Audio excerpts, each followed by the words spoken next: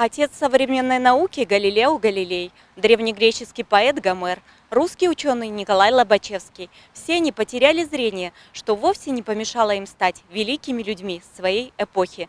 Мы восхищаемся теми, кто, преодолевая свой недуг, достиг немалых высот. Именно на таких людей равняются и участники областного интеллектуально-познавательного конкурса «Эрудит», который прошел в нашем городе. Сегодня присутствует 8 команд из Брестской области.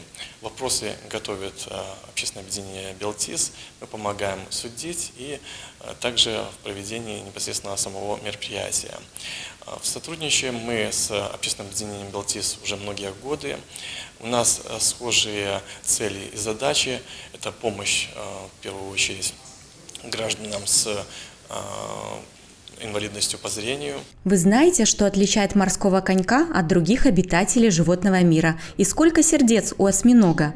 А участники интеллектуального конкурса «Эрудит» знают ответы на эти и многие другие вопросы. Команда из Бреста уже не в первый раз пробует свои силы и в прошлом году даже стала победителем. В прошлом году тема была по истории Бреста к тысячелетию, поэтому я уже, как говорила, ну, сам Бог велел нам победить, и, наверное, стыдно было бы нам не победить. Кто-то интересуется интеллектуальными играми, кому-то нравится, кто-то спортом занимается. Ну и мы, конечно, ежегодно, да, участвуем в этом конкурсе. Интеллектуальное сражение выдалось горячим, и чтобы разрядить атмосферу, гостей и участников радовал своим пением и танцами народный хоровой коллектив Брестского музыкального колледжа «Купавушка».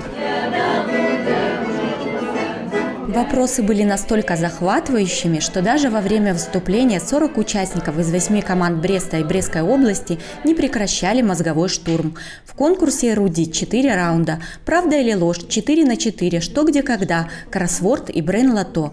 Участники могли проверить свои знания, смекалку, логическое мышление и проявить сплоченность. Люди всегда ждут этот конкурс. Э, у нас во многих организациях э, в городах именно я знаю, в, в Кобрине проводится, в Пинске проводится, э, в Барановичах, в Ивацевичах, в Иваново. Всегда проводятся тоже похожие конкурсы, и они даже участвуют э, в обычных э, интеллектуальных играх, которые проводятся в городе, не просто в нашей системе, а просто выставляют свою команду наравне ну, со зрячими людьми.